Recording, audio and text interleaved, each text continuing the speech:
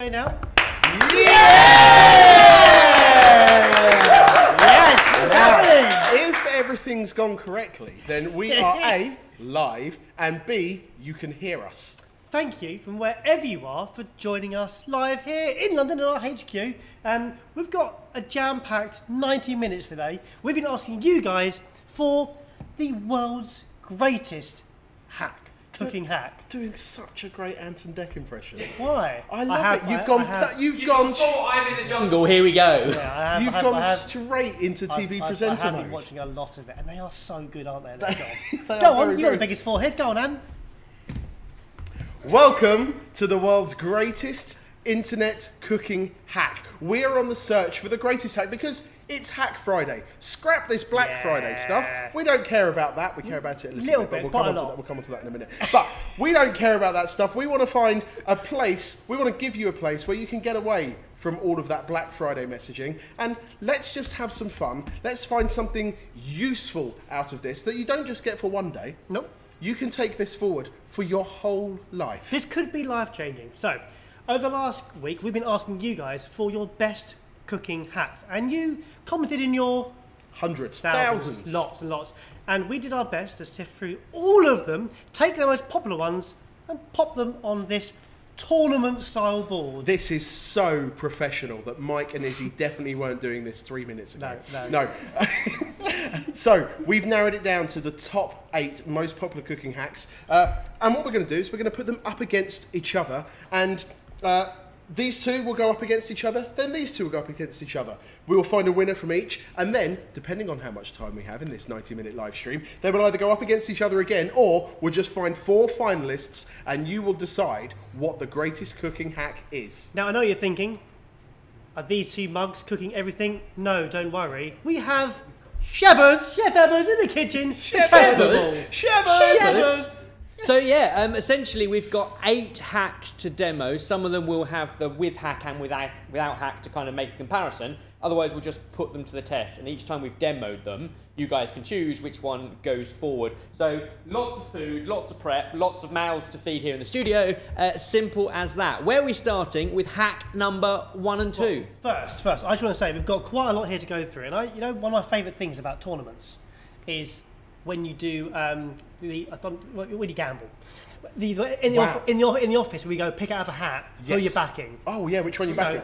let's, a sweepstake, that's the word. Sweepstake. Right. So coming up first, we have one tray cooks cooking everything on one tray. Is it a hack? it is. I it think is a it's hack, a hack. it's a good hack. We're going to put that up against spatchcocks. spatchcock chicken. Oh yeah, Yeah. spatchcock. Chi- Yeah, that yeah. deserves a full top. We just couldn't fit it on here. Then, then we've got scissors, the the, the inc- underused in the kitchen. Scissors against the bench scraper, a very chefy tool. It is. Then we should use? Then we're going to head over to what sounds like a basketball team, the bicarb magics. We're the- using bicarb in other places in the kitchen in cooking than you would generally think versus microwave mashed potatoes. Okay, right, and th- well, then the final competition here is going to be between ice cube tray flavour bombs, flavours you put in ice cubes, versus a hand mixer chicken. Now, I, I know for a fact that Mike has been pushing for the hand mixer chicken one for a long, I long get this time. right, so sweepstakes. Who do you think your winner is now? Have, have, have a little think. Pick pick one and see if it makes it to the final. Comment down below. I've got mine. You got yours? I've got mine, I'm not Are you gonna going to you. reveal? You're not going to reveal it. No, no, no, no, no, no. No, you can't, because that would be I'll- I'll biased. biased, This that's is the fine. internet's favourite, not yours. Fine. All right. all right. Fine. I'll keep mine to myself then. Okay, so round one. one tray cooks versus spatchcock chicken. Ebbers.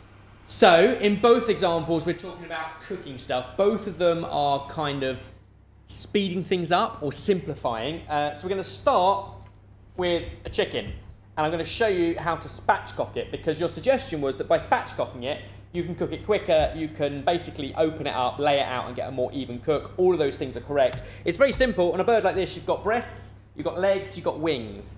On the back of the chicken, you've got a spine. That's the bit you need to cut out. The bit that starts at the bottom of that. So, a couple ways you can do it. A sharp pair of kitchen scissors is a good one. You're just going to go in and cut either side of the spine. And it sounds a little bit nasty because you are cutting through a few bones, which is why kitchen scissors are good. But that's what you end up with one side of it, and then you go the other side of it, and you cut the same. Now, by doing this, we've got an oven preheated, by the way. You can lay it flat, and once you've taken that out, which is the, the, the spine of the chicken, we don't need that, although you can save it for gravies and things if you're doing that. This whole chicken now opens up and lays flat in a roasting tray. Now, if it's laying flat, it cooks more evenly. It also means we've now got more surface area to add flavour, and we've got more skin exposed evenly that isn't going to steam underneath the chicken, so it all goes more crispy. So if the chicken, crispy chicken skin is your favourite, you've now got more of it because it's nice and even and open. Quick wash the hands, and I'll show you what flavours we're going with. This is a very simple uh, combination of uh, a certain musician's spicy uh, chili sauce with a whole bunch of other seasonings, salt, pepper, uh, some smoked paprika, some cumin, and some coriander into a paste. It's got the salt in there as well. I'm going to slap it onto the chicken. I'm going to place the limes, which I've quartered, around the chicken, and it's going to go into the oven for just 30 minutes. So by opening up, you're cooking an entire chicken at 200 degrees Celsius for 30 minutes. Super speedy. What's everyone saying, guys? Well, straight away, there are lots of people just shouting out who they think are going to win, and it's interesting. Some some bold choices, um, but also people asking about how we're going to vote. Um, at the end of each section, each competition, we'll be opening up a poll for you guys to vote on who you think is the best or which one is the best hack. Um, and I think it's I think it's going to be tight. There's a lot of different messages out there. Um, does Ebbers like his new name, Shebbers? Shebbers! Not a huge fan of Shebbers, I'm going to be honest. I'm still getting used to Ebbers because my name's Ben. Simple as that. But Mike said it once and it stuck, so there we go. Shebbers! Spatchcock chicken going in for 30 minutes, nice hot preheated oven, and the comparison is a whole chicken that we're not going to spatchcock. So all we're going to do to it is season it up nicely so that we can see a nice bit of crispy skin, but you're going to see the difference in how much of that crispy skin you get if you don't flatten it out. And this will take 40 minutes. So only 10 minutes longer, plus resting. But that's because it's at room temperature. And whilst 10 minutes doesn't sound like a huge difference, it is 30% or a third more uh, than the spatchcock version. This is sitting on top of root vegetables, onions, and cabbage. I'm going to splash some water in and put it in a different oven at the same temperature for 40 minutes. What you will notice is it's bigger. So if you ever run out of space in your oven by roasting a whole chicken and there's not enough space to get other trays in, spatchcock it and you'll get more trays in your oven. Another easy hack. What do you think, Baz? Uh, so, comment from Shigeru Miyamoto Ghost says it's a good question. Would spatchcocking a turkey work for Thanksgiving or Christmas? You might need garden shears, but yeah. Yeah, okay, that's a Well, big. that comes into the scissoring one later, doesn't it, actually? it's called just scissoring. Is that the right? Cool, great. It's just Also, big that's, scissors. that is some prep that is 364 days in advance. what do you mean? Thanksgiving was yesterday. yeah, no. Actually, no, next year's a leap year. Okay. 360 365 days in advance. That is, that is some great going. Um, uh, I also saw one. How does Ben get his hair so perfect? He's, he's called Shebbers now. and um, it's a very big piece of Lego. And so he puts it on every morning. he chooses which one he wants. He's gone for the longer one today, Yeah. the longer grayer one today. Sometimes, some, sometimes, sometimes it's really funny because he puts it on back to front. That is a bit weird. If I get really hot and sweaty, sometimes this bit comes down and it's really terrible. Um, I tell you what, if it ain't broke, don't fix it. It's been the same for 25 years. It's fine. Uh, Shebbers, a couple more questions. Uh, number one, uh, would you put butter under the skin of the chicken? Oh, You absolutely can. So you can basically, with like, basically your fingers are the best tool. Is you can ease the skin away from the flesh, and you end up with a, a pocket underneath. You can rub butter into. Is it required? I'm not convinced it is. Chicken skin is already fatty, and if you've got it laid out and exposed where it's not going to steam too much, but it's going to roast, it will do that job for you. You kind of don't need to, but it's an extra step you can do if you like. Uh, there's also uh, another question which I think might become more relevant the later we go on. People have already noticed that you're running back and forth from the other kitchen and they're asking where Kush is. Sillily, really sillily, someone let Kush take a holiday. I know. Yeah. So Who Kush, signed that Kush off? is on the other side of the world. I've been left in charge of the kitchen, which is why we put it this side, so I can seamlessly sneak out and you'll never see, but evidently you already have seen. So there we go. Don't blame Izzy. Um, Eliza, so we have the whole team here today. Um, Eliza, could we have um, our first poll? Um, is that, could you- would you mind setting one up? Ooh. Um, it's not anything to do with what Ben's No, cooking could I do now. this first? Uh, It's quite I'll- time okay, sensitive. I'll, I'll tell Eliza about the poll and we'll come back in a second. You, you carry on.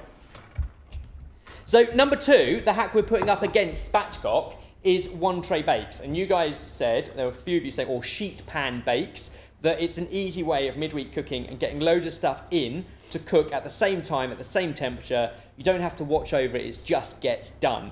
As a result, this is one we're going to demonstrate. We do quite a few of these on Sidekick. It's great for midweek cooking. A bag of uh, rice, pre-cooked, that just needs to be microwaved. We're not going to microwave it.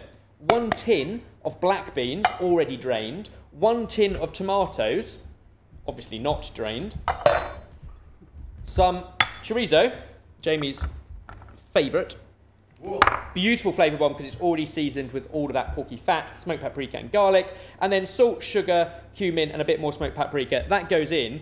All you need to do is mix it all up so it's equally combined and lay corn on the cob on top, and the whole tray goes into the oven for 15 minutes. It's a one tray bake, it comes out delicious. When it comes out, we add cheese, parsley, and lime. The poll is up. You asked for it. People, people getting confused. You have too many names, so we have to narrow it down to which one. Right, so the We've- poll is. The poll is now: Is his name officially Shebbers, Eggers, which was a recent thing that you brought in, uh, Ebbers, or Ben? I mean, I'm very happy with Ben, and so was my mother. No, she wasn't. She called you Benjamin. Only when I've been a very naughty boy. So please vote now. I'm, I'm, I'm making my vote. Done. Are are you voting from you or from Sorted? From me, from me, Right, from fine. me. Okay. Yeah, we sort of lock it in. I guess it. Oh, mate, these are, this is fit. 500 votes already in. this is serious stuff, everybody. How many people we got on the on the live stream? 2,200. Excellent. 2,241. Excellent. Have we done a Have we done a question about where are you joining us then? Once No. you once we've all rechristened Ben, why don't we? Uh, and he will change it by deed poll because this will be a legally binding poll now. Definitely, yes, yeah, it's a works, yeah, legally yeah. binding Yeah. poll, much like Get the world's greatest cooking. Uh, comment down below. Let us know where are you joining us from. We are in East London.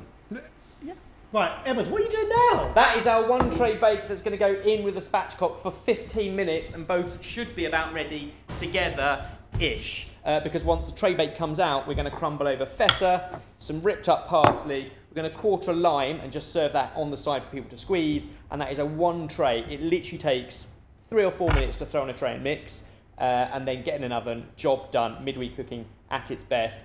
When it comes to voting, I'm going to come back to vote on these two once they're ready so we can look at the comparison of spatchcock versus normal roast and tray bake wonders. Bear in mind, this is just one example of a tray bake, and Sidekick has got loads. We've done loads on the channel, Grocery Shop Challenge, absorption methods with like orzo pasta and rice. We've done roasts with tofu, we've done roast with chicken thighs, root vegetables. It's an endless opportunity. So you're not voting for this recipe on this tray in this oven today, the concept of tray bakes. Yeah, Is it also true that there are other we there's other spatchcockings to do, isn't there? You don't just have to spatchcock a chicken. You can spatchcock any bird that has a similar anatomy, including a turkey, if you've got a tray big enough once you've flapped it out and a pair of scissors big enough. Sure. Um, also, got to point out, because we're sitting under this sign here, um, the options for tray bakes on Sidekick are Yes. phenomenal. I, I think I've cooked nearly all of them now. They're my favourite thing to cook at home, tray bakes, I think. And would you say now would be a really good time if you haven't tried Sidekick? Would, would now be this is where the Black Friday bit comes in? No plugs! No plugs! would you say that now would be a good time to try Sidekick? Well, it wouldn't be the worst time would it, because I think, I think there is some sort of deal on at the moment. Would it be so- the Black Friday deal that makes it 50% off? Monday, Tuesday, Wednesday, Thursday. Fr- Is, is it Friday today? It is Friday, Oh my, you might be right. Yeah, so I do think you can get it for 50% off for the whole year, which makes it £24.99. If only there was a URL link in the description box to take you to that. Wow, do, do you know what? There might just be. Is there? Yeah. Is there? Wait, did I put one there? if I didn't, head to the App Store your favourite app store, uh, or head to sortedfood.com and you'll find that there. Lovely, lovely bit of plug-in. Well done. I didn't even mean to do Congratulations. that. That was great, yeah, that was great. Um, right, let's look at the most important bit: the polls. Oh, yes. Do we have a winner, Eliza? Ebbers, 38%. Thirty-eight percent. 38%. You are the original Ebbers. The Ebbers, which still isn't my name, is the one we're sticking with. So glad to hear it. How- how- Thanks for your votes. How close was Shebbers? Uh, 34. Oh, 34. That means we could just leave one extra letter in. So you could be Hebbers Kebbers. Right, should we now move on to what we're here for? We need you to vote whether or not it's going to be the one tray cooks or spatchcock. But no, No, because well you weren't listening. They've got to cook in the oven. When they come out, we'll be able to test them and see how they are. Yeah, and at that, that. point, We we, will then that Yeah, we in- spoke about this. You know when we? And Yeah. on the live, but don't worry. I was, I was, I was too busy with Shebbers and Ebbers. I'm really sorry. Tell you what, Ben. What I would really like to do is find out whether scissoring or scraping is best. Allow me, Jamie. So, there were lots of suggestions for using scissors in the kitchen as a hack. Now, not just like it's a useful bit of kit, you should have them, but specific uses where scissors are easier uh, at home to prep certain things. Uh, comment down below if you use scissors a lot at home. Some scissors are sort of multifunctional. Like this one's got a, a bottle opener on it and a nut cracker on it, but we are literally just talking basic scissors here to do simple tasks. For example, some of the ones you guys suggested that we will demonstrate, chives. They're already stuck together with a rubber band. Rather than cutting them and having to go to the effort, if you're not already got one out, of a board and a knife, actually just snippy snip, lots of control, take your time. We've all been cutting with scissors and paper for our lives, whereas you might be less comfortable with a uh, did I say that around the right way? We've all been cutting with scissors all our lives. You might be less comfortable with a knife and a chopping board. So there we go, a very, very easy way, an easy thing to wash up option. Yeah, we had lots of people suggesting this. Dalmatian uh, SEN use scissors to cut food. Uh, we had Susan Smith saying using scissors for cutting herbs, pizza, even sausages and meat. Uh, revive cooking, scissors, especially for pizza. Yeah. What are you laughing at? Sorry, uh, just another fantastic name for Ebbers. The man who loves his herbs so much, he should be called Hebbers. I think you're getting distracted first. What I've made is a chive and garlic mayonnaise for later on. But another suggestion with the scissors, um, we've already spatchcocked with them, but you guys said, I think Jamie just mentioned beans. Um, so beans are really fiddly and annoying um, because you need to top and tail them all. You can do it individually just by pinching it out with your fingers. Alternatively, is scissors a good hack for green beans in the kitchen as opposed to the alternative? If you do do it, make sure to tap down so they all line up before you snip. There's a few people here of your kind. I know, I've just seen Steven Tyler. Yeah. I didn't know that Steven Tyler was left handed. No, but now we do. Now we do. So Steven Tyler is left-handed, and he says that actually he's more comfortable using a knife because most scissors are rightist, leftist, I don't know. leftist. Leftist. They're against the Against the le- left. against against the left. Yes, they're leftist. They're Yeah, right. they're- They're right. They're right wing citizens. uh, most, yeah, a lot of a lot of scissors Yeah, are yeah, hard to use Yeah. for um, the best people in the world. Okay. So I think that is an option, using scissors. I guess my question when we come to the vote, and I'm just going to put my two pence in here. Ebbers, don't sway the vote. As a chef, is it just easier to use a knife and a board to do those same tasks? If you already have a board out and you're doing other things, it's unlikely you're only going to be chopping chives. Is that any more difficult, or is it actually much the same? I don't know as a hack. However, somebody did mention pizza. And actually, um, Yeah. pizza, different side of the world, but South Korean cooking. Absolutely. Lots Yeah. of scissors being, Big time. lots of people commenting that as well. Especially the cooked meat. Bacon was another top suggestion. It's actually easier to cut bacon with scissors or rashers if you want to snip that up. Um, and cooked barbecue. We have a video coming out soon where we went to an amazing street food market in California and they did squid on a stick. And um, the squid on a stick, um, they would cut the squid with scissors. So lots and lots of use for scissors. I should stress, if one of those uses is cutting the backbone out of a chicken, then um, make sure you wash them before you use them for other things, uh, which I did. That is. What are you chuckling at? There's so many conversations happening behind the camera here. Um, Go on. What did they do on a stick? huh? What did they do on a stick? Squid. Right, fine, okay. See, my, my issue with scissors is I only have one pair of scissors for the entire household. So the, same, the scissors that I No, I you use to can't. cut sellotape, Yeah. and I use the same for No, that I, as I do. Yeah, I had to buy like a four pack of scissors because A, they kept getting lost. Yeah. And um, hopefully not in the kids' Yeah. bedrooms or something. Like, Yeah. and, and B, um, because yeah, you need some for actual kitchen use, and then you need some for wrapping presents. Yeah, I have. I have been known to like panic and go. I need to cut this sausage in bits, and I'm sitting there with uh, Austin's little kiddie kiddie Oh, scissors. yeah, but then you get the nice shape, the nice shape one, yeah, don't just you? Yeah, the yeah, little- yeah, yeah, yeah. yeah, Crocodile scissors. Sorry. Sorry. Sausages is is another good. sausages is another good use for scissors. That is one of the options in this round. Uh, the other one is bench scrapers. Um, a lot of you are saying bench scrapers for a lot of different things. Um, like we have lots of scissors in the studio, we have lots of different bench scrapers that we use for lots of different things. One of those things is actually, as you all suggested, just clearing the board easier. So when you've chopped your herbs, you can just scoop up to one place and move to one side. So really easy for clearing a board. One good use. The second is for portioning, cutting, scraping dough.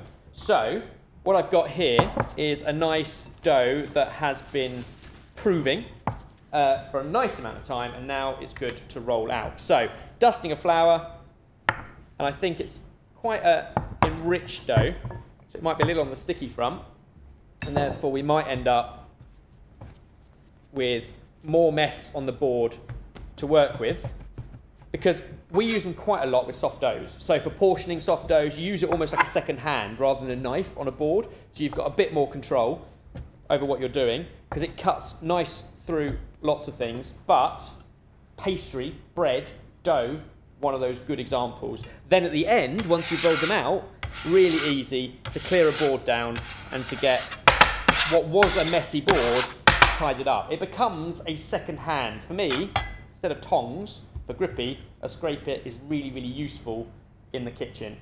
However, whilst I shape these into balls, what does everyone else think?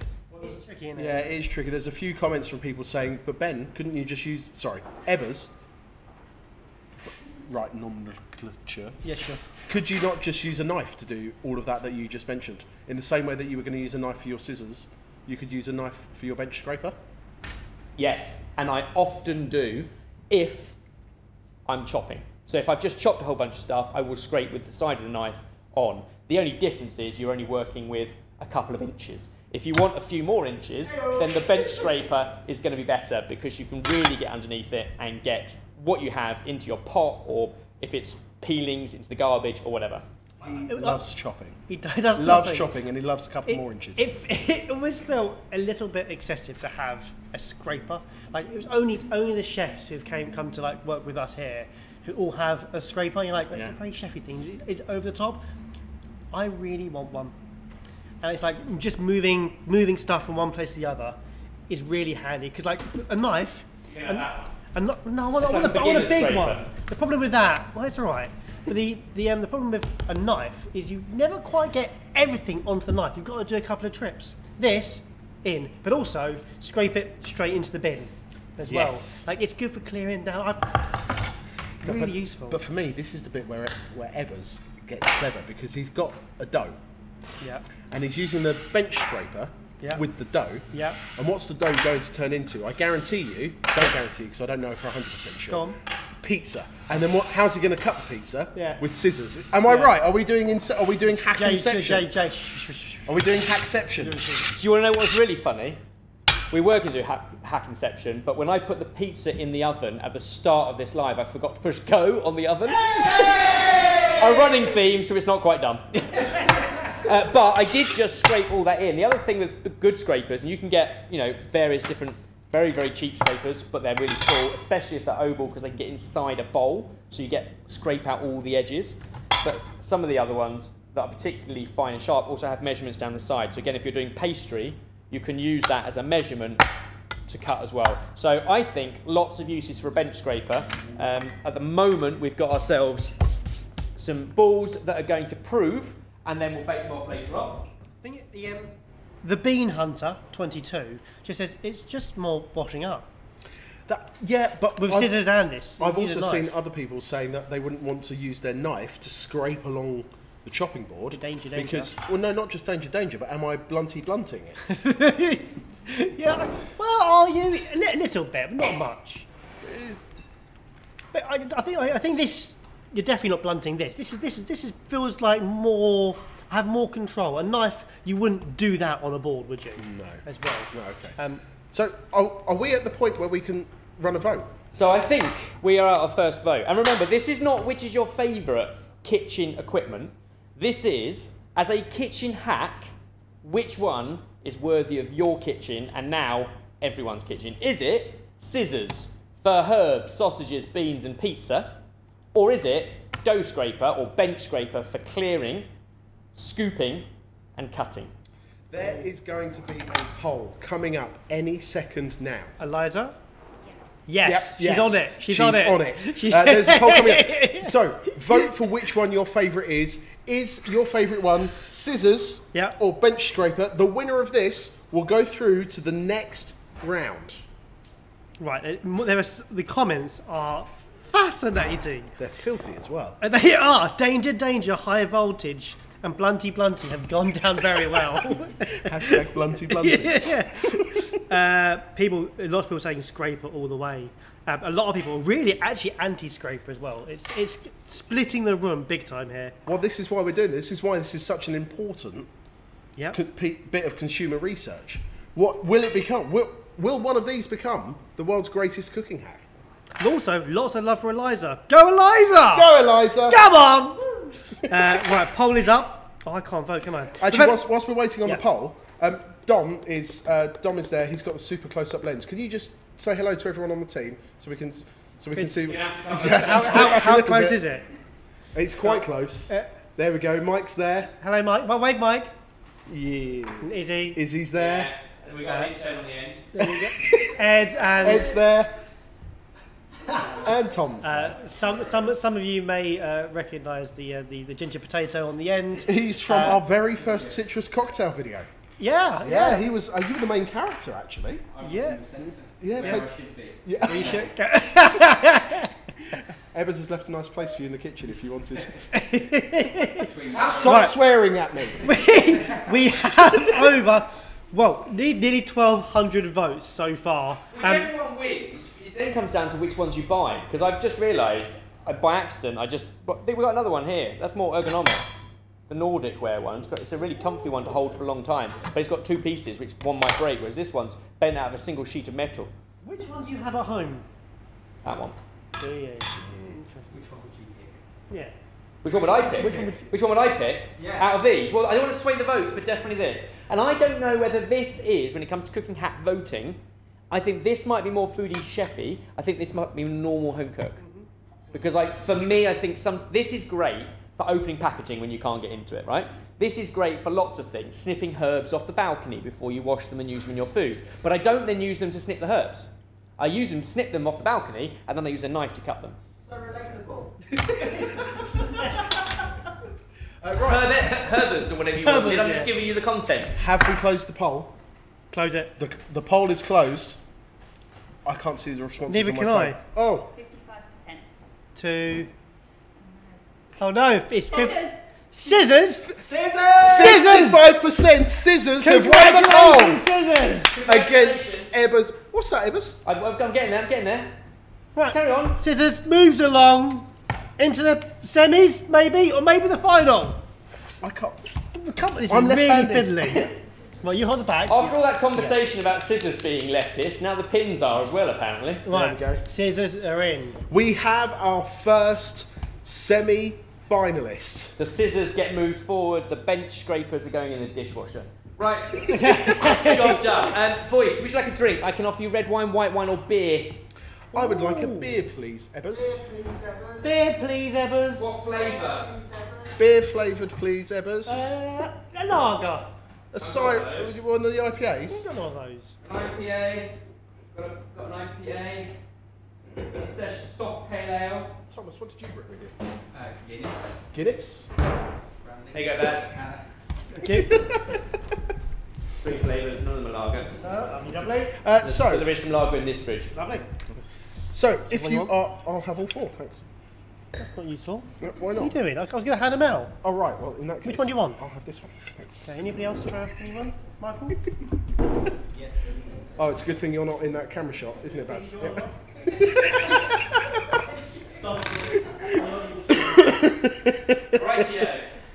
Right. So we now have our first winner of the polls. It's Scissors. If you're just joining us, we are finding the world's greatest cooking hack. We've been putting one tray cooks against spatchcock. They are in the oven. We'll be putting them to the test in a few minutes. We've put scissors against bench scrapers, and you have voted for scissors to be the winner. Next up, we are looking at the basketball team, Bicarb Magic, versus Microwave Mash, which I think, didn't you guys, wasn't that a Halloween costume that you had one year, Microwave Mash? Is that a popular culture reference? I'm not sure I get it. If I say yes, you won't know whether I'm lying or not. Correct. Shall I talk about bicarb? Yes. So this one, genuinely, half of what we're about to demonstrate is new to us, and we don't know in which direction it's going to go.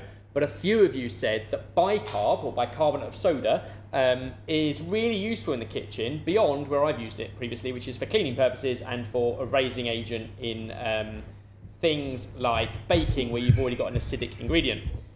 However, the thing is, it changes the pH, so it does some magical things. As a test, I've got two equal amounts of sliced onions. Uh, they've got a dash of oil in both, a pinch of salt in both, and then I'm going to add a tiny, tiny amount of bicarb to one.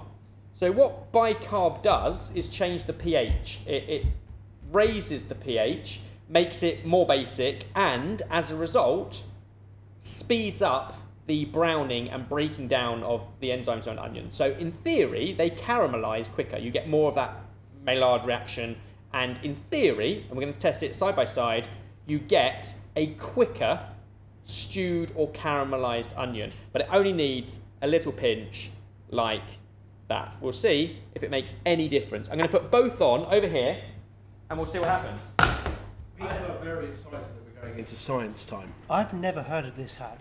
No, we've well, we've had bicarb in potatoes. so I think Yeah, that was a, yeah. a poppy Yeah. uh, poppy hack, wasn't it? Um, that she did on TikTok was putting bicarb into, Into uh, boiling potatoes um, so that they boil at a higher temperature quicker, which means that you get a uh, Fluffier fluffier outside. outside. Yeah. Well, crispier outside when you roast them, and it's still fluffy in the middle. But never in meat. I'm slightly concerned. So the second use is with ground meat. So this is uh, equal weight of ground beef that I've already mixed with onion, garlic, thyme, rosemary, and salt. So that is a meatball mixture. It's a burger mixture. It could just be fried off in a pan to give you minced beef. But to one of them, I'm going to add, and I've done this slightly wrong already. Uh, I'm going to add one tablespoon of water.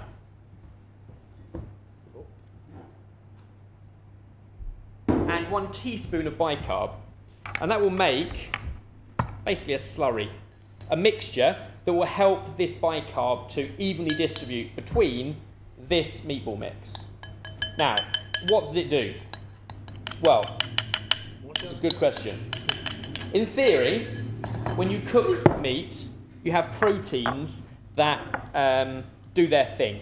And this stops them doing their thing. Because if proteins bind too much, they squeeze out lots of moisture and water, and in doing so, uh, they become quite tough and chewy. So, in theory, adding this makes a softer, tender meatball or mix, and it's doing the same thing as the onions in the sense that it's. Um, the sense that it is also going to help with the browning. So it should go crispier, browner, and stay more tender.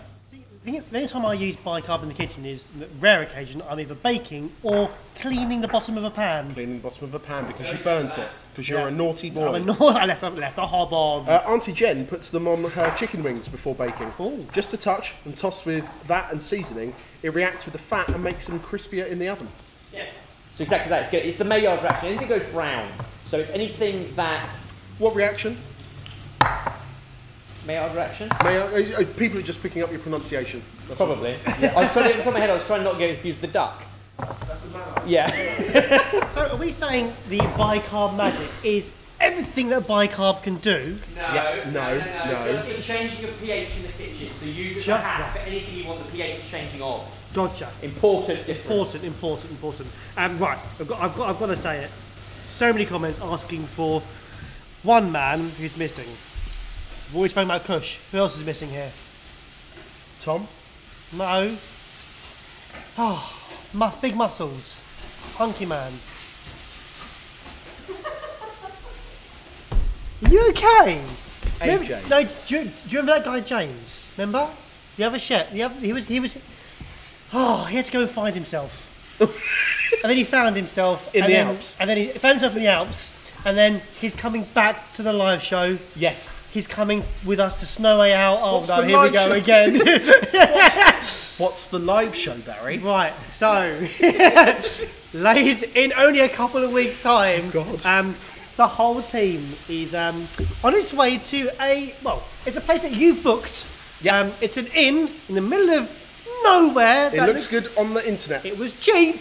Uh, it looks slightly sketchy. We're slightly worried about how things are going to go because the whole thing is called Snow Way Out. Yeah, if you might have seen our Wild Weekender that we did in the summer, it was a full weekend of live streamed mayhem where we bring in um, an external production team. Uh, there's uh, the whole food team. There is all of us. We go all out. and we basically put on all of your favourite video formats from the channel uh, into a live setting with all of the added mayhem and chaos that that ensues, plus lots of other fun and uh, surprises that we can't talk about just yet. But of all the things that we've been talking about with you guys online, the one thing that seems to have stirred up the most excitement is the return of James, James Currie. Currie. Well, he's coming back to take part in a chef versus, chef versus, chef battle, which has never been done. which a lot of people have been asking for.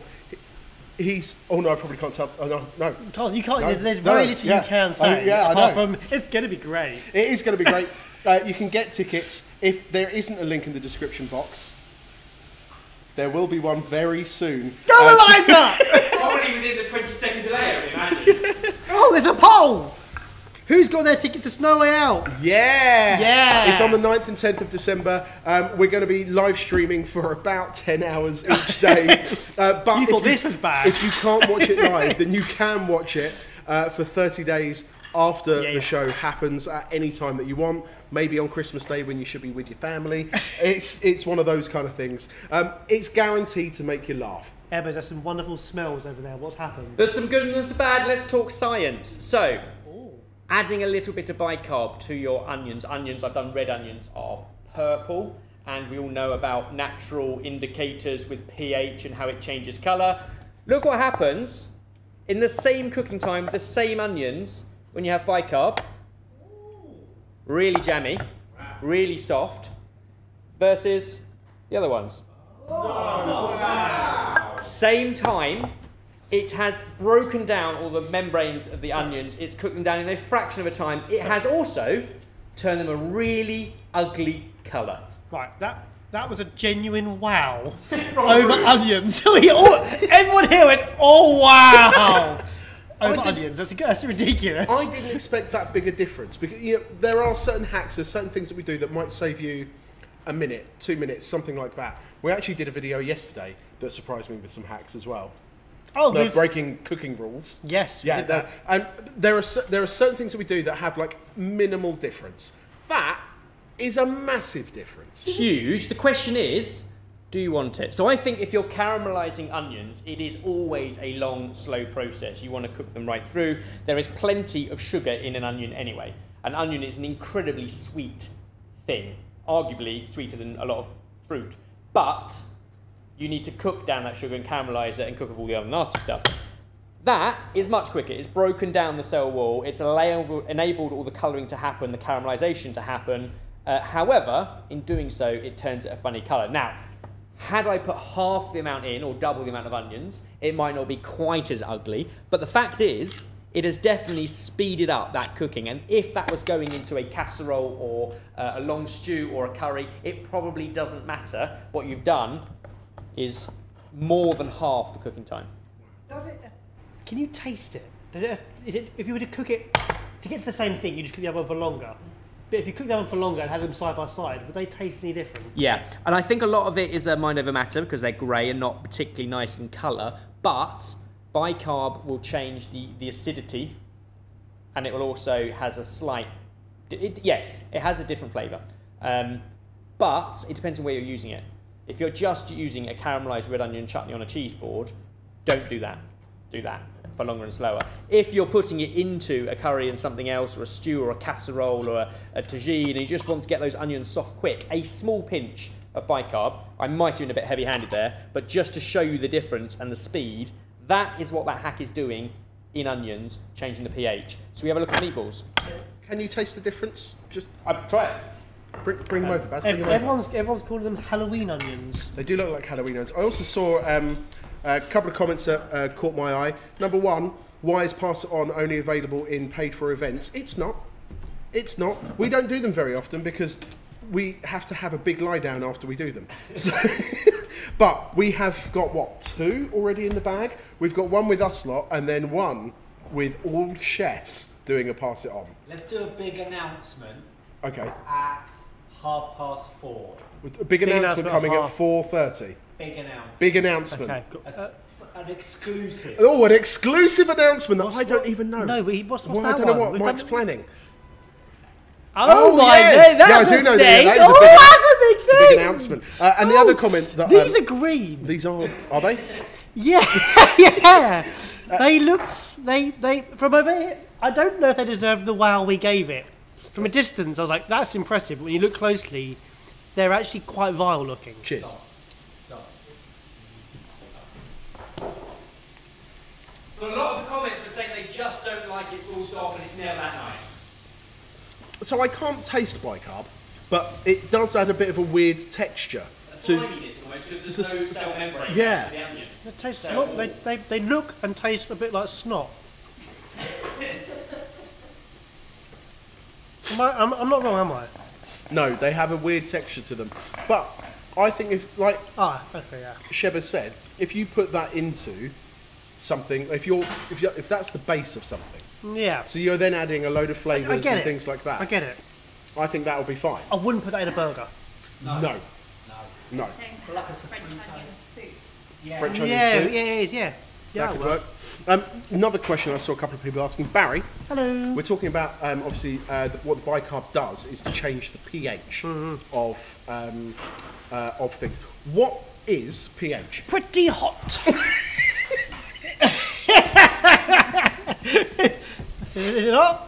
No, what is it? It's, it's the pH level is the acidity level in it, and it's either What does al- pH al- stand- al- what does P- alkaline What does or pH stand for? I know this. I did. I got I got a B in chemistry. I cheated, but I got a B in chemistry. Ooh. Um, Tom, you're looking like you know. I don't. You're a doctor. Please say you know. Oh, come on, boys, it's basic. Oh, oh yeah, the, the comments understand. They get it. They get it. No, they weren't asking me. me. They weren't asking me in the Oh, comments. okay, They're right. asking you. Okay, They already knew that you didn't know. Right. Where are we at next, then? So, while you were tasting our green onions, um, I put both of our meatball mixtures into equal sized pans over roughly equal heat. It's quite difficult on these hobs because they're not exactly the same size. But we'll see the comparison of the two. And all we're doing here is just cooking it out like a bit of sauteed meat. What's interesting already is the difference in texture in the pan. And this will be difficult for you to see. We'll flip it out later on. One has already toughened up, as proteins do. The other one, that has the bicarb, is still much softer and more tender. Now, other applications of bicarb in meat mixtures is things like kebabs. So it will do it, keep it nice and soft and tender, but it will give you a nice crisp, like crust as you grill it on a kebab. And that's what you'll find in a lot of um, kebab recipes, a little bit of bicarb. Some people put a little bit of bicarb in Italian dishes like Italian meatballs, but also in their tomato sauce, just to offset the acidity of the tomatoes. You're just balancing it out. Once this is done, we'll have a little taste of each and do exactly the same. Now, again, imagine this is step one of a dish where you add all sorts of deliciousness, whether it be a tomato ragu. You could finish this with a nice mustard cream sauce around it um, and serve it with mash. But just as a comparison, bicarb changing the pH. Uh, let's do the same plate. So this was the bicarb onions. This is the bicarb beef. You know what? There's a lot of no bicarbers. Is that? Yeah, on a bicarb free diet. It's single ketos. Yeah. it's, um, I'm, not, I, I'm not sure how well this one's going down, mate. Well, it's not my plan. No, I know, It's not, It's I know. the audience is how I know. it. We're putting them to the test. I This is, and this is why this is valuable consumer insights. What? How are they looking, Ebbers? You tell me. Your I'll turn. go. Your turn. So this one Yeah. is with bicarb. Yeah. That one's not. Did it multiply? No, it's more in plan. It's not about us. you are such a pain. you forgot, haven't you? No, no, I have not forgotten. This one's got bicarb. Bicarb. But it, your spoon, my spoon. You have bicarb. Right, bicarb. I think it's browner. It's, br- is It's it brown. brown. It's browned more. It's funny looking, isn't it? Ooh. Yeah. No bicarb. I'm not really sure what to expect here. If it's gonna. Oh, Oh, oh, oh. Oh, big difference. so the Big first difference. one you tried with bicarb, you just thought that's good mince. Oh, No, I didn't. I didn't actually. Oh. I mean, that's that was a The one with bicarb, has a bounce. it's spongy. Yeah. Yeah. Yeah. Tender. Tender. Hasn't basically No. as those proteins have bound. What you've done is stop the squeezing out of all the moisture, so it's tender, it's bouncier. It's like the uh, meatball, the street food Yes, meatballs no, I get it. from the other side of the world. I, I was comparing. I was thinking that is a very rubbery burger. Yes. When I first had it, I was thinking in, in a burger that wouldn't. That's too rubbery, whereas the other fell apart. So that's a better experience for a, a, a burger or a bolognese sort of thing. To me, the bicarb one tasted synthetic because Yeah. of that texture. You know, like all, um, meat alternatives. Yeah. It had that It's got- kind of vibe to it. Interesting. So normals are comparing to like a baseline. What I'm thinking of is like, what is the experience you want? Do you want your proteins to do that and close up really tightly as overcooked meat, or do you want them to close up and keep the moisture in it? Because every other meat we cook, we do sous vide and we avoid overcooking the mm. proteins. Mm. Now you are comparing it to how you would normally and have always cooked minced mm. beef, which is better. And you might still have the same answer, but that's that's the logic here. It's not causing the proteins to squeeze up and tighten. Instead, it's allowing that moisture to stay inside and allowing more of a crisp edge. It feels like if I was making it's up to these guys, but that, that's what it's doing. if I'm making meatballs, I get it. Yes. But I can't think where else I that would be useful for me in cooking with mince at home. Mm. It's kind of got a silkiness Yeah, it to the has. outside, Yeah, doesn't it? yeah. It's, almost- yeah. It's just it's just really really moist, which I would say, which you should say is good for everything. But it's the balance that's throwing me a little Yeah. bit. I know what you mean. Fascinating. Don't like bouncy balls? It's not what I said, Ebbers. Not what I Also, who doesn't like a bouncy ball? I, yeah, That is, they are so much fun. you can't. Yeah, you can't grow out of that, can you? Is it Jack Jones? What's the, the, the no, no, that's not the right one. Hello? The bouncing balls down the hill in San Francisco. No, that was a Sony Bravia advert. Yeah, but who wrote the music? Jose Gonzalez. Oh, got that wrong. And actually, it was a cover of a song from the 80s, Classic. which was um, really good. The knife. Yes, the knife. One night to be confused. Here's- Don't want to get demonetized though, so. Copyright. So where are we?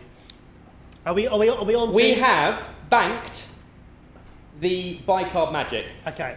And our half an hour has passed, so we're having a little look at our first one before we vote. So, we have tray bake versus spatchcock. But we're going right back to the beginning now. So we're pausing this current game, Yeah. taking a break, going right back to the beginning. We've got one tray cooked versus spatchcock chicken. And are So in half an hour, we cooked a whole chicken by spatchcocking it out, and you can see much more surface area, much more place for that wonderful, wonderful marinade and rub that we put on it. And you've got all that lovely skin. Now you can cut it up two legs, two wings, two breasts, the same as you would if you roasted it. Although it's easier to do in this stage because you're not cutting around uh, an extra spine. And you've got the one tray bake, which took just 15 minutes. Uh, the corn is nice and cooked in kind of the steam from the tomatoes as it evaporates. You've got the beans and the rice. We finish it with feta, parsley, and lime. Which do you think is worthy of your vote? Spatchcocking a chicken, by the way, the roast chicken is still going because it takes a little bit longer for those juices to run clear because it's all still bound up and it needed a whole oven because it was sitting proud out of the tray. So spatchcock chicken, which also, by the way, works really nicely on a grill or a barbecue, or midweek tray bakes. right. Let, whilst we get a poll uh, going up and running, Ebbers, can you explain the, from your perspective, the pros and cons of each? Versatility of a one tray bake basically means you can throw loads of stuff in midweek. Pre weighed out, we use tins often, so it's one tin of this, one tin of that, one bag of that. Really easy. Uh, and you put it in and you leave it, you step back, and you've got a one tray bake that I personally think looks great and would serve at the table like that, and everyone can just dig in. So lots of versatility, super easy and convenient, uh, and you don't have to stand over a pot and watch it do its thing. How washing up? And as Mike pointed out, you've only got one thing to wash up. This dish, for example, if I'd have done it differently, with the beans and the tomatoes and the rice, I still probably would have done it in one pot, but then I'd have had to grill or roast the corn. So you are kind of using that two two different appliances. So it is a serious ease with one tray cooking um, that's hands off, and the versatility is huge. Spatchcocking, I don't know if it looks. Uh, maybe on a board it does. I don't know if it looks as much of a centerpiece as a whole roast chicken that you might put in the center of a table. However, I think you get more control in cooking. So generally, it's more tender uh, and more moist. You don't overcook it. You've got more surface area, more skin, and if you're putting it on a grill, more opportunity for smoke and char as well.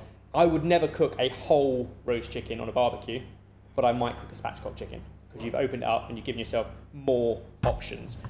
Is there a downside? You've got to cut a backbone out.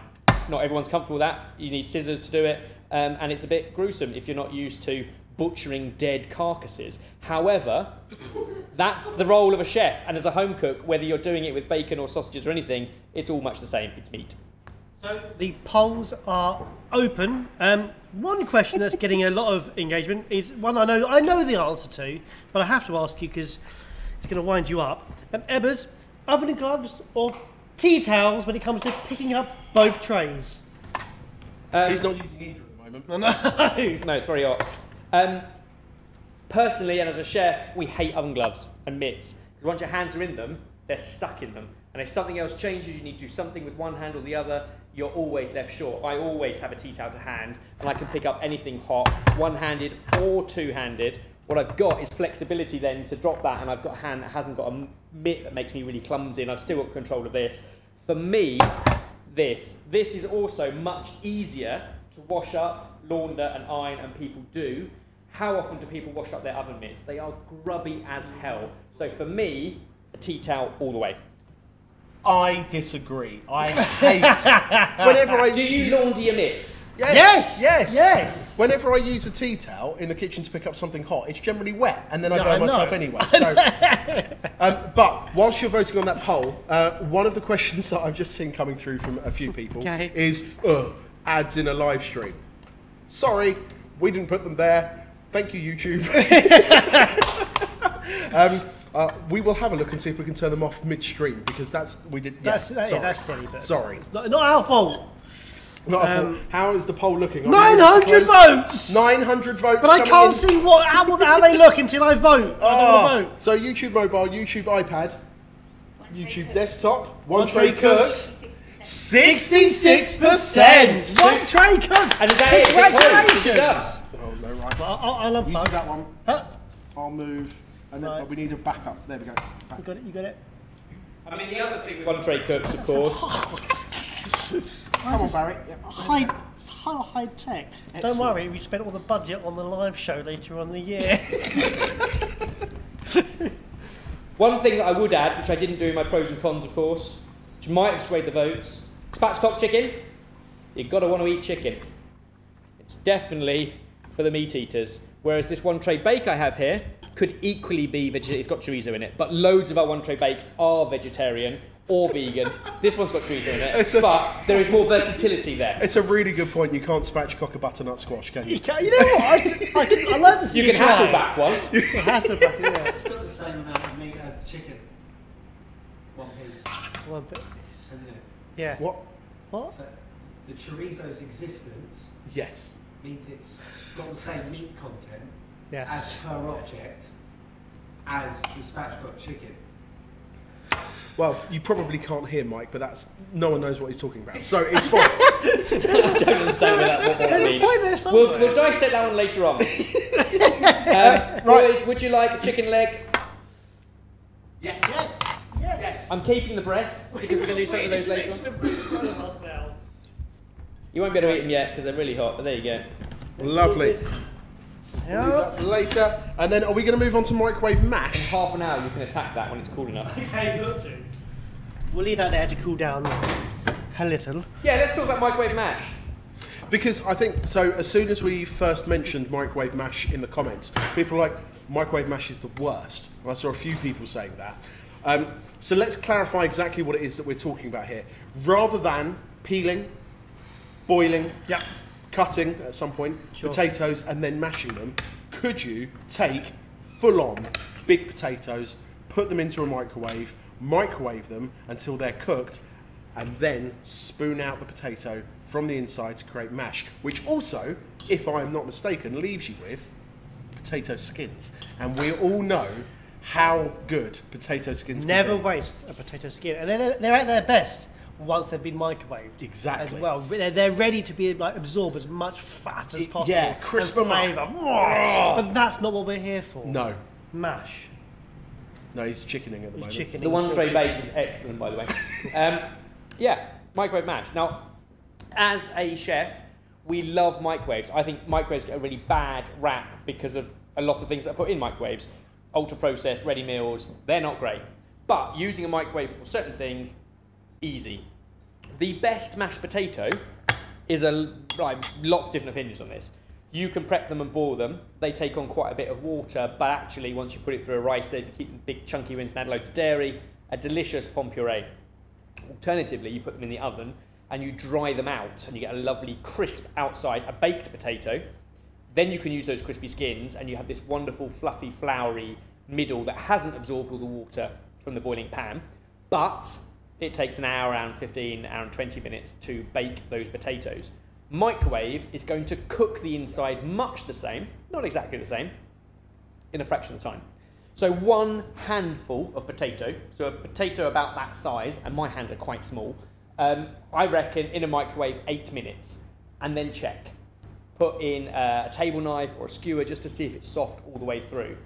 Before you put it in there, make sure you give it a good prick, because the skin is tight and you don't want it to explode. So prick the skin with a fork, then put it in a microwave, about eight minutes, depending on the size of your potato and the wattage of your microwave. When it comes out, have a test, and you should be able to do it, but your skin won't be crispy.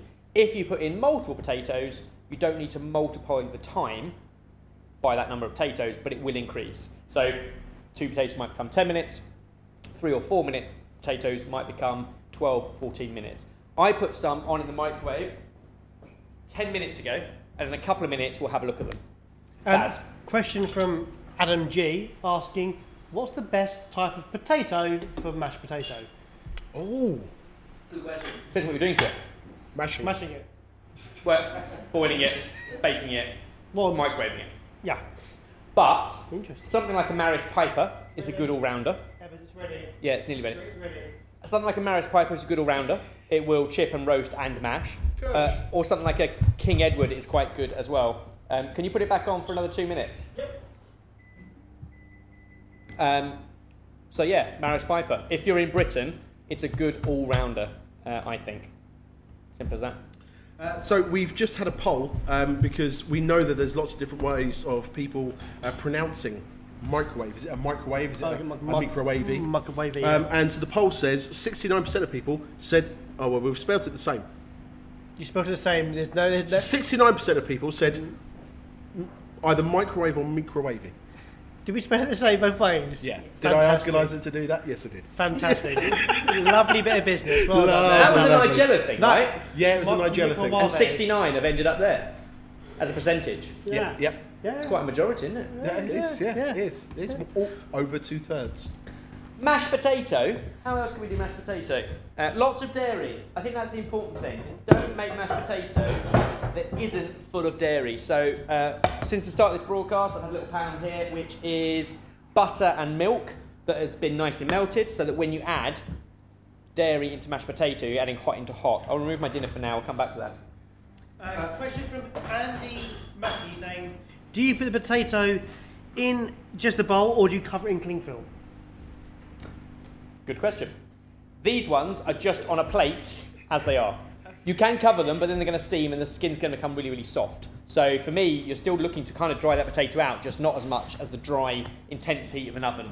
Uh, whatever you do put it on will also become very, very hot. He's, he's such a politician. If you weren't a chef, you would have been a politician, right? Because every time you get asked a question and you're thinking about the answer, you say, mm, "Good question." Yeah. Whilst I think of the answer, and then you go, it's like a politician going, "Let me be clear. what, what am I going to say? What am I going to say?" Very Um, good. We're in a live environment. You can't edit my thinking process and my the cogs turning round. So I'm buying time. Ebbers, uh, in ter- uh, talking about buying time, we're two minutes late to our announcement that we announced that we were going to announce. Oh, are we? Um, Which do we- we, we do we have no time idea. to announce it now, or would you like rather us wait and push the announcement back? How do you check if potato's done? Stick a knife in it. Does it glide right in? More importantly, does it fall right off? Because if it falls off, then you've basically cooked it all the way through. Whereas if it's still stuck on the knife, and I, these are all cooked, so I'm not going to demo it, uh, it will stick to the starches. But basically, that's not going to stick to a starchy potato because it's cooked all the way through. So I'm going to halve them, scoop out the flesh. I'll leave you with uh, one, two, three, four, uh, the, the outside skins of four, and you can talk about an announcement. Okay, right. So just context behind this announcement is this announcement was not planned No. at all. So it is not that Dolly Parton is taking part in Snow Way Out. Unfortunately, that was one of the Um, suggestions. but let's put it this way: Mike and the uh, production team have been working on this said announcement for Two months. two months. It was an idea that Mike had, and we all said, "You're crazy. Yeah. That's not possible. We are You not can't going do to that. be doing You that." can't do that. Um, and only when Mike, about well, 20 minutes ago, went, "Announce it," do I know that it's actually happening. Well, it means that he's got the confidence that we can announce it and we're not It's able gonna happen. take it back. Yeah. Okay. Cool. Cool. We can, do you want to come, Mike? You come and announce Come in. Yeah. you Yeah. come yeah, and yeah, announce yeah, it. yeah, yeah. Go. Go. Come on. Hi everyone. Oh no. Got a hernia. um, we all know that December, Christmas time, the time of Advent, and we all have our lovely Advent calendars. And what's really exciting is getting up in the morning, opening that window and seeing what's behind it. Could it be chocolate? Could it be beer? Could it be coffee? Could it be a lovely little picture of a donkey and baby Jesus? We thought we would do the same for you with a video per day on the Sorted channel to say thank you for supporting us. Uh, every single day up until Christmas Day, we will be releasing a video, and they're not just any old video. No. This isn't. This isn't like Vlogmas. They are bangers. Every single one of them are bangers. We've got pretentious ingredients. Yeah. We've got collabs. Yeah, we've got. We, we culminate, and I don't want to spoil it, but I'm going to, uh, with our Christmas Eve video, which is an all chef pass it on. oh my goodness. We have gadgets. We have gadgets from other countries.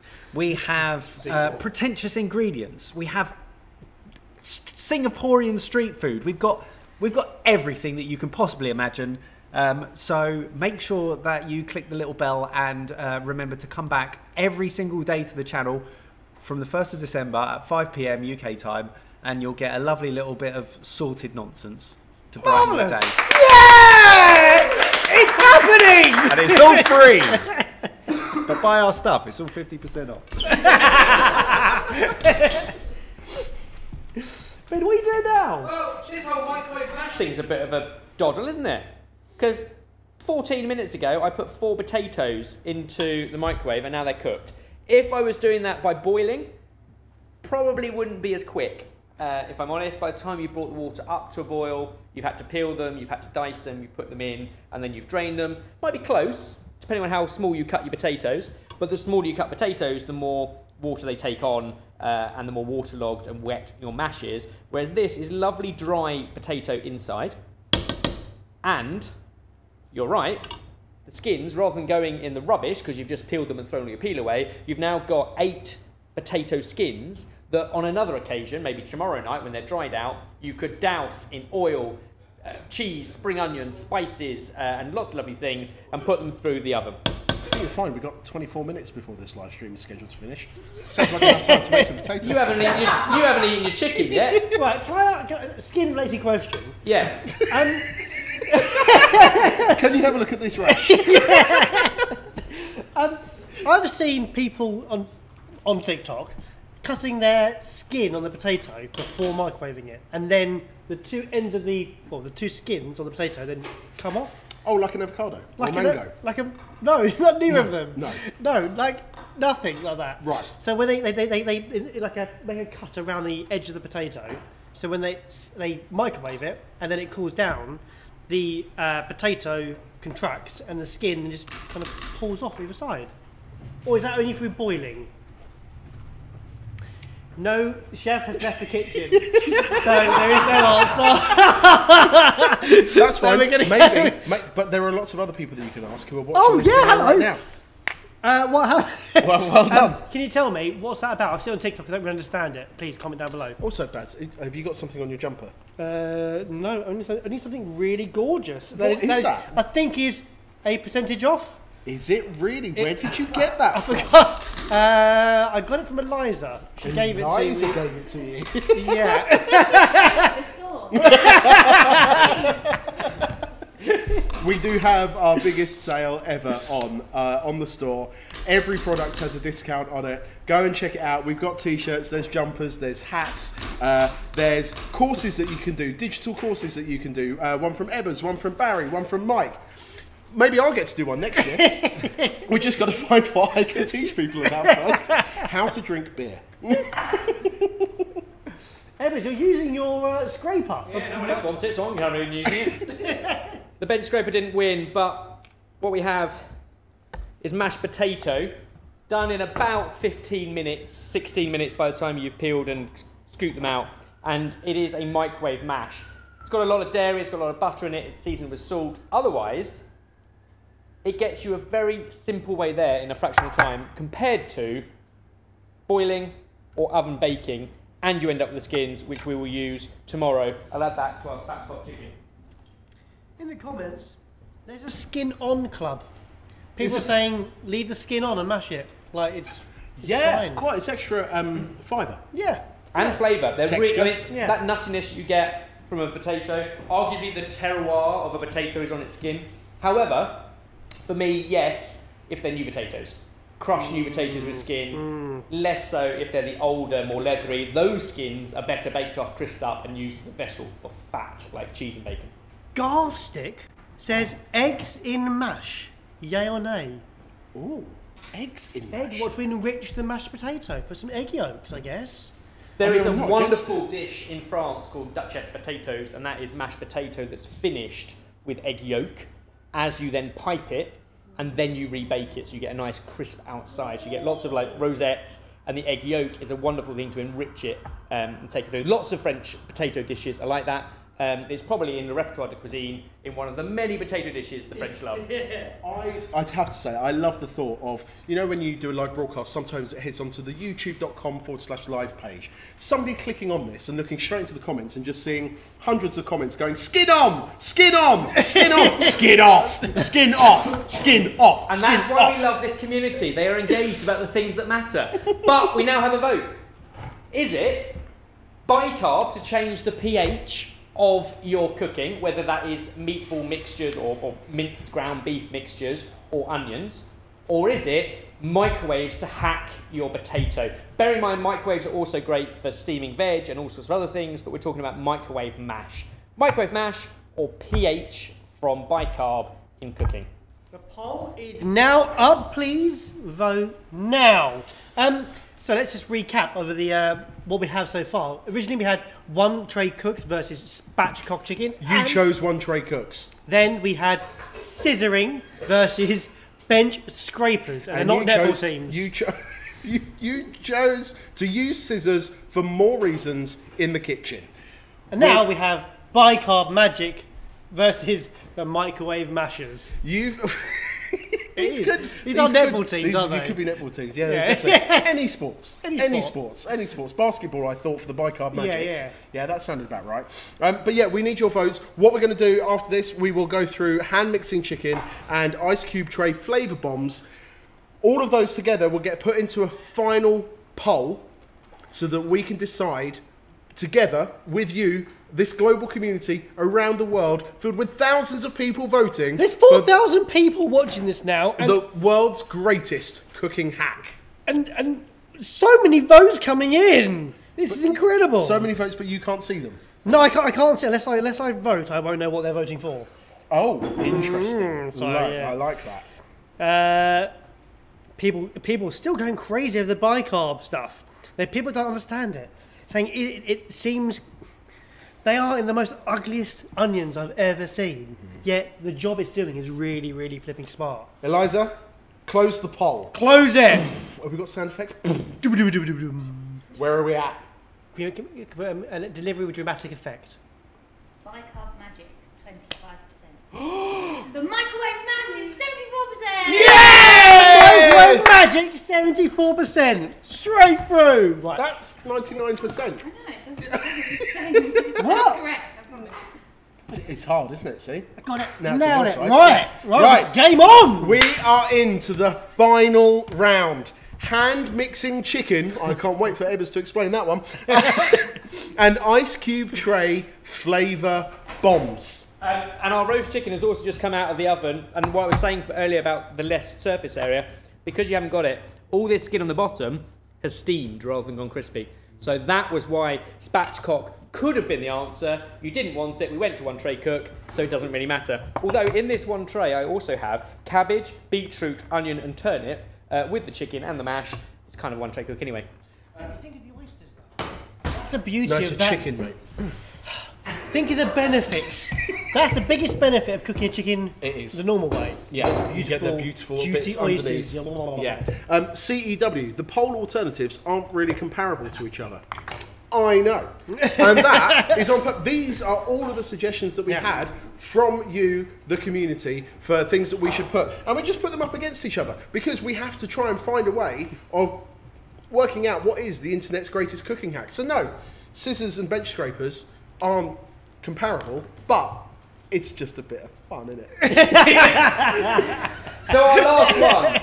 Our last one. We got ourselves 15 minutes to blitz through this last one, and we're doing ice cube flavour bombs first. So, ice cube trays as a way of saving ingredients for a later date that are flavour bombs to help your cooking. So, midweek cooking, you're doing something. I just it just needs something else, and you can throw that flavour bomb in it. So, one flavour bomb that I'll demonstrate for you, but you can do this with all herbs.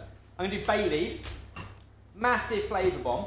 And basically, no ever cook without them. But if you don't have fresh bay leaves, you can do this with any fresh herbs. You can do this with uh, ginger, with garlic. Basically, you want to make a puree out of a flavour you later want to add into your cooking. So imagine this: I'm cooking at home, and I haven't got access to the bay tree.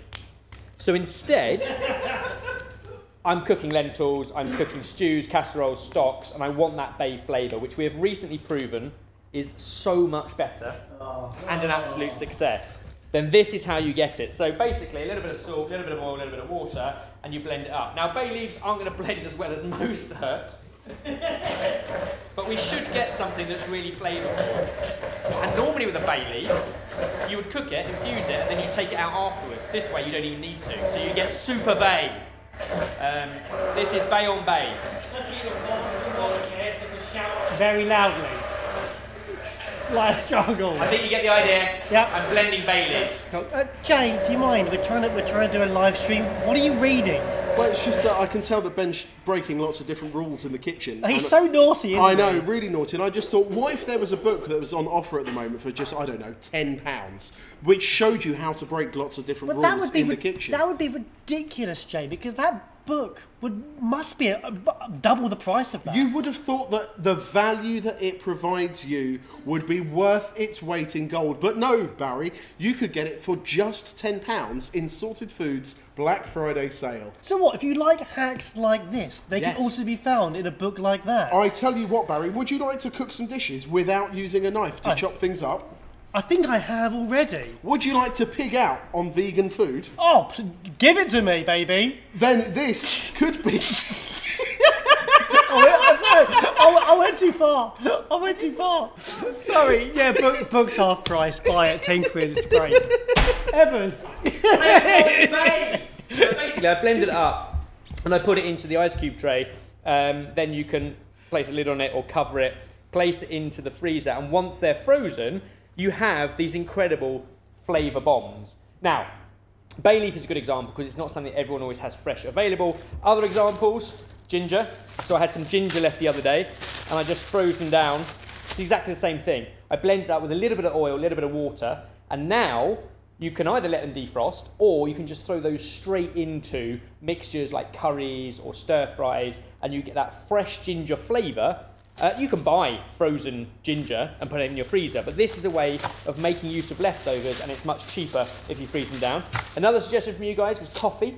If you ever do filter coffee and you've got like a third of a jug left at the bottom, you don't want it, freeze it down into ice cubes and you can place those ice cubes into your iced coffee rather than ice so it doesn't dilute them.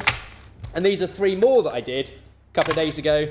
We had some curry leaves left over. Now, curry leaves are an incredible ingredient when you're cooking dishes. But if you don't always have them to hand, I literally took curry leaves and did exactly the same thing that I did with the bay leaves.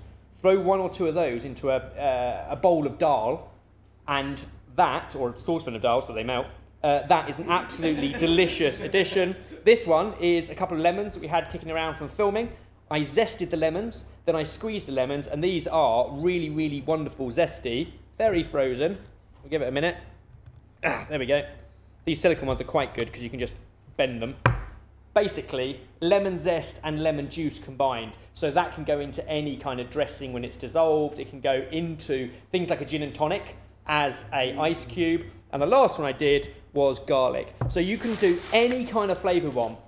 My thinking is don't bother doing things like harissa because it keeps in the cupboard anyway. Only do things that are fresh that might go off. So it's a way of basically looking after leftovers, upscaling food so you don't throw it away, and giving yourself these wonderful hacks of flavour to add into all sorts of cooking midweek as flavour bombs. That's the ice cube hack.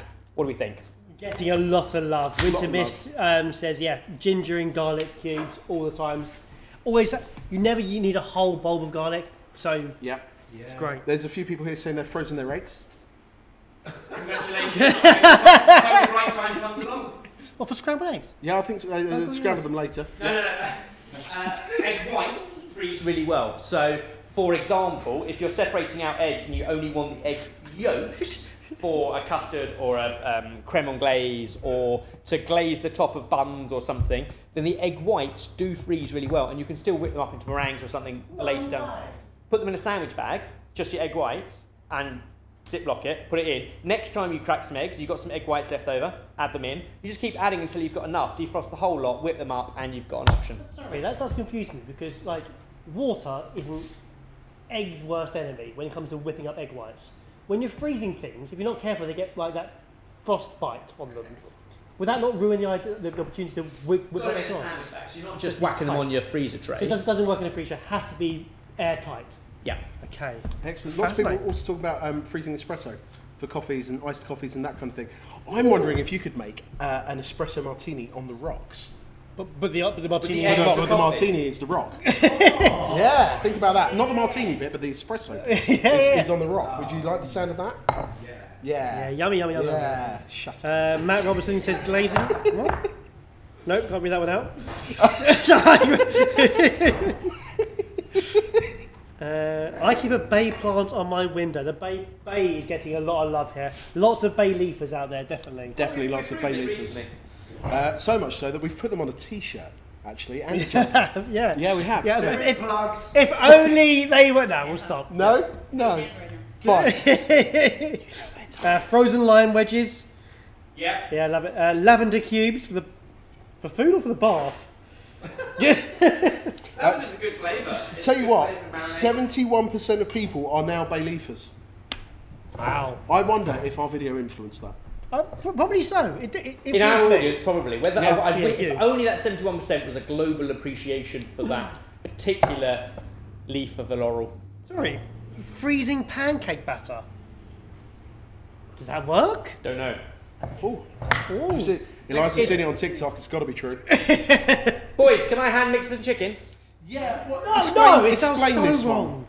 So this was one that uh, caught the attention of some of the team here. I'm confused by it. I, I've also seen it. I, I'm still confused by it.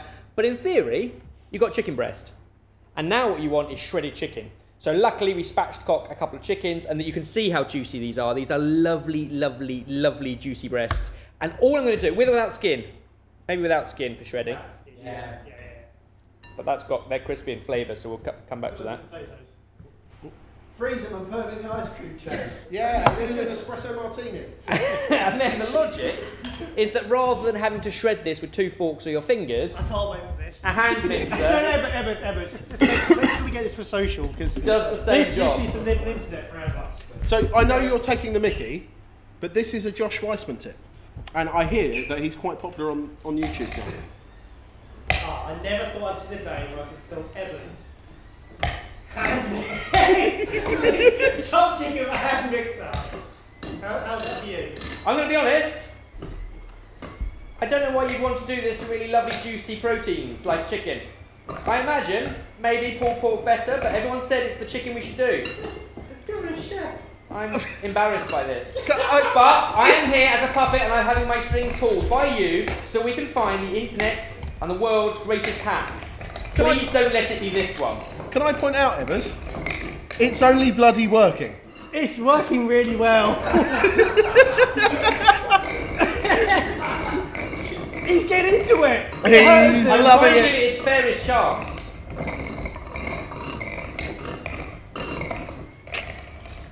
So yeah, straight away, So, chicken sandwich is now on the cards, oh, isn't it? Yeah. I'm being honest, we haven't got the alternative.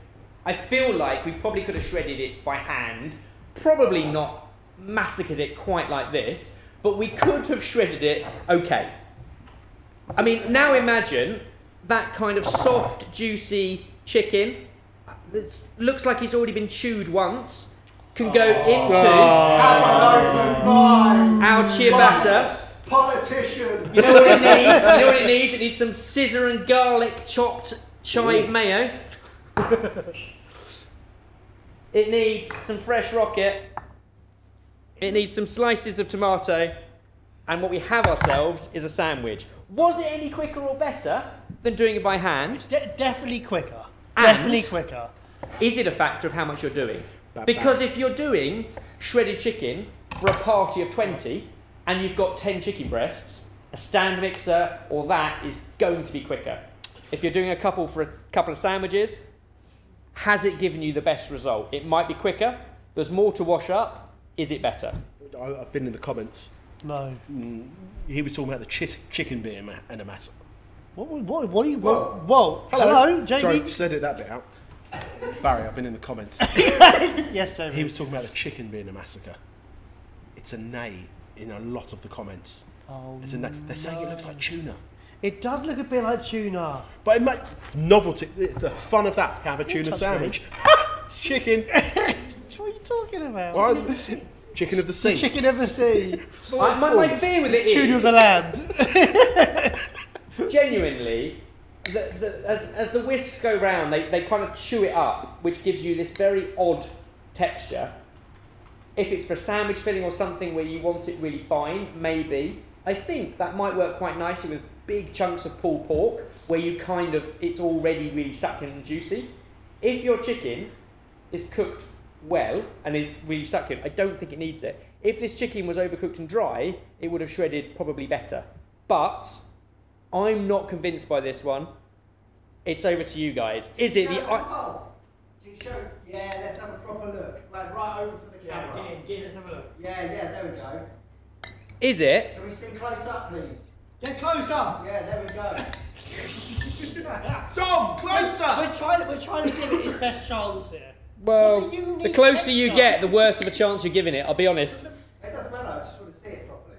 Right. Is it hand mixer shredded chicken or ice cube tray flavour bomb? The vote is yours. Over to you. So the poll is going to go live now. If it goes like the comment section, it's, going to be a, It's gonna be ugly. chicken of the landslide. well done. Thank you. No, I did it wrong. no, No. wrong. Apparently, that's a Jessica Simpson reference. Is it really? Yep. God, niche. Jessica Tight. Simpson, very niche. More niche, Ashlee Simpson, her sister. Yes. She had yes, some really yeah. good songs. Like what name one? Um, Needless to say. and we'll just segue away from that. Needless to say, we only picked eight very popular, and several of you, and multiple people were talking about ice cube trays, or multiple of you were talking about bench scrapers or scissors. Um, so we picked the very popular ones. There are dozens and dozens and dozens of other hacks. Um, so this is by no means the only ones, but I'm hoping we're close to having our final poll, and we have four minutes to wrap up our final shout. Oh my goodness. oh my goodness, the, the, the poll is the poll is aggressive. is it aggressive? It's aggressive Is poll, it yeah. aggressive poll? Yeah. Is this the most? Uh, yeah, yeah. Yeah? I mean, we've had over a thousand votes already. I think it's more people voting on this than anything Is else. You vote they're about the They things you care about. Yeah. Is it because they're angry? They're angry. They're, They're angry. angry. Yeah, I love an angry vote. You know what? Let's close the poll. Let's There's close no the poll. It's not point. gonna. It's not gonna change, is it? Eliza, announce the poll results. 83% ice cube tray. Ice Cube Tray. Hey! Right. News for the new Tupperware. Bring it on. Oh, he Well, there we spoils it every single time. He finds a way to spoil it. Now, when we got to this stage and we were planning this and how this was going to go, we thought there are two options. Number one, if we've not mucked around and we've done this in an efficient manner, we will have time to put these two against each other, these two against each other, and then have a finalist. We've mucked around and had a great time, and hopefully you, You have, have too. Uh, so what we're going to do is we're going to provide you with one final poll. This is going to be the one that decides the greatest cooking hack in the world. But before we do that, has your favourite made it this far? Are you still in for the sweepstakes? Are you still in? I forgot what I said. you didn't say anything. You thought it. yeah, I know. I forgot what I thought. Yeah, I'm out. I lost. I'm out of sweepstakes already. So, as we come into the final poll, what is the world's greatest cooking hack? Is it one tray cooks? Yeah. Is it scissors? Yeah. Is it microwave mash? Yeah. Or is it ice cube tray flavour bombs? Oh. That, that poll will be going live any second now, which gives us a perfect time, Barry, to talk about what apps have you downloaded on your phone oh, recently? Stop it! We have done so many plugs because we, there's a lot of stuff going on at the moment. Sidekick, massive Black Friday deal. Go check it out. All the merchandise that we have, it's all been reduced as well as can't be asked with the rules as well. Only 10 quid. Go check it out. Sortedfood.com. Plugs are done. Plugs done with done. plugs. We're not doing any more plugs until I do one more later. Oh, But no. also, we've had the announcement that we're going to be doing a video a day Yeah, surprise. on the build up to Christmas Surprise. throughout December. And if that doesn't happen, you know it's because Mike lost the confidence. Yeah. so again, recap: one tray cooks, so versatile. It saves you so much time. It saves so much washing up. I, again, as a hack, it's probably the one that I personally use the most at home. But is it the best? I don't know. Is it going to be scissors? Using scissors in the kitchen for things that you wouldn't generally think of, such as cutting herbs, cutting the ends off green beans, cutting a pizza, if Bernard remembered to take it out of the oven in time. Or is it microwave mash? Cooking your mash, your potatoes in the microwave and then mashing it gets a lovely, fluffy, beautiful mashed potato every single time. Or is it the final hack that we put to the test today, the ice cube tray flavor bombs, where you freeze some of your favorite flavors so that you can use them at a later point? Not only are you being money efficient, you're being time efficient, and you're being flavorful. Boys, just scissoring your pizza. And you know what? It's quite easy. We, there are some amazing, like, there's an actual scissor gadget out there for cutting specifically pizzas, and it's ridiculous. offset. It's like an offset spatula Yeah, but for scissors. very pointless. No point reviewing it. It's rubbish.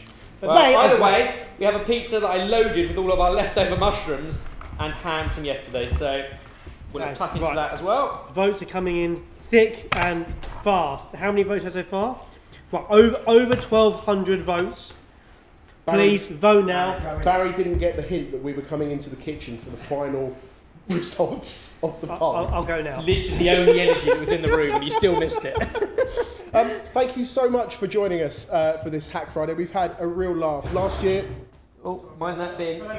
Last year we did Hack Friday and we did eight hours of putting hacks to the test, and it was absolutely brilliant. This has been much shorter, probably more chaotic for you in a way, uh, but still great fun. I can't wait to see what we do next year. Next year, oh, can we worry about thi- this result first?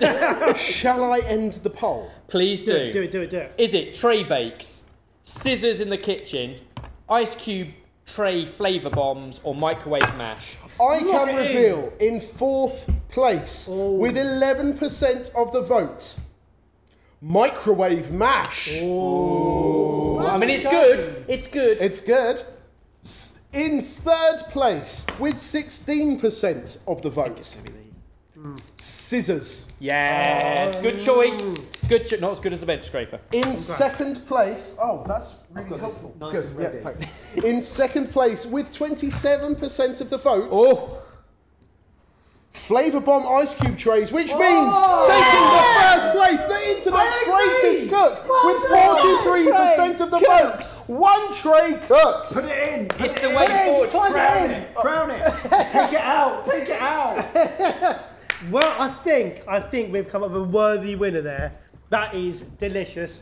So versatile. So many hacks. Love it. just one example. This has been a lot of fun. Thank you so much for joining us. Enjoy the rest of your Black Friday where you're going to be advertised to by so many different people know. plugging their Who own would do products. that? Unfortunately, you've had an hour and a half without any of that. No plugs. So thank you so much for joining us. Uh, we look forward to seeing you for a video a day in December. We look forward to seeing you at Snow Way Out on the 9th and 10th of December, where I don't know where you can get tickets, but you know. Still, he's, he's so fucking And don't forget all of the Black Friday offers that are on the Sorted Food store for the merch and for Sidekick, where you get 50% off.